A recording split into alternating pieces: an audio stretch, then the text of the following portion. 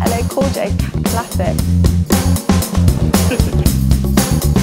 Hi, it's Latoya from the KC Concept Store. Today I am with Where's It To and we're going to be showing you around Bristol Shopping Quarter to show you everything that we have to offer. Starting off here in the KC Concept Store, Bristol's first black-owned concept store. We have a collection of 40 UK-based black-owned businesses.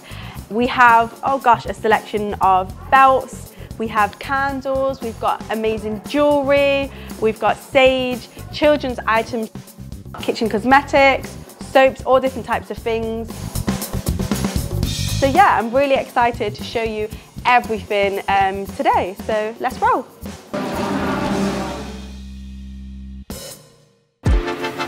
So we've just left the galleries and now we're heading into the Prior store to go and see Beck and all that she has to offer. Um, so yeah, let's go. Oh, just quickly before I go in, if anyone's wondering, I am exempt from wearing a mask, which is why I'm not wearing one.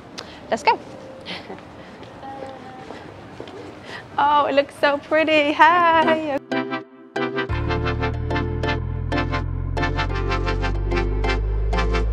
Oh, oh my gosh.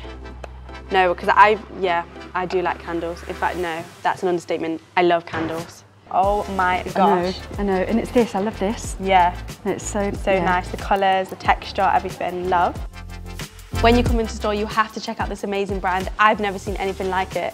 These um, pieces are made by a lady who was a chef and she takes um, the eggshells and sets them into these amazing pieces of jewellery. Like, they're just so amazing. You have to, have to check them out. Take care, guys. Bye-bye. See you soon. We're gonna go straight over to Mila. Let's go.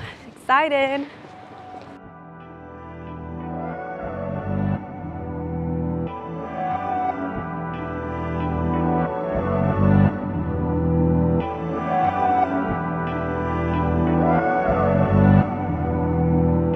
Hi Sam. Hi, mate.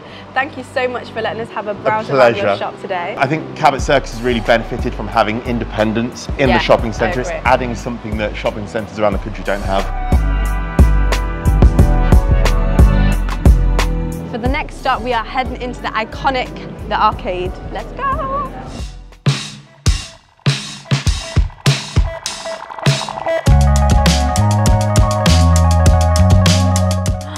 Oh my gosh, look how pretty it looks.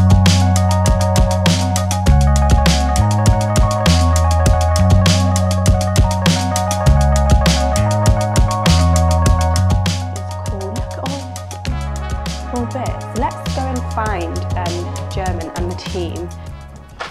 Yeah.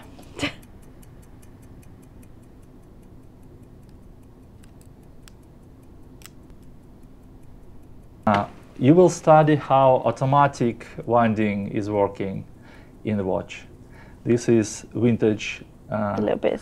ticking. yeah, this is vintage Citizen from 1970s. Wow. It's quite old, but in great condition. So you take this, take this, and you touch this o- this oscillating rotor.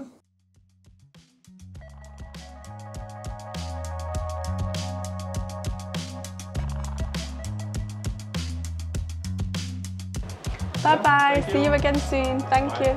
Take care. that was fun. now we are at the Art Club, which is like a little hub of like mini Bristol. They've got all sorts of bits in here. They've got clothing, they've got a little juice bar, they've got art, jewellery, all different kinds of um, little bits to check out. Oh, I see cards. I don't think we've had a look at any cards today, have we? Oh, these are really dope. Definitely check these out.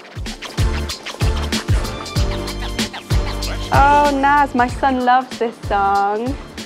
He absolutely loves it. I might get him this actually.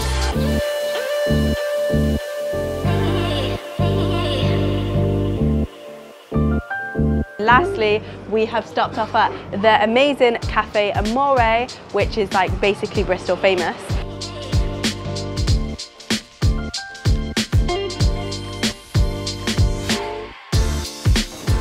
Feels good to finish the day with something nice and warm. This has been Bristol Where's It To.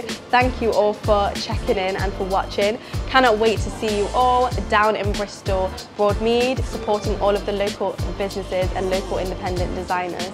See you soon.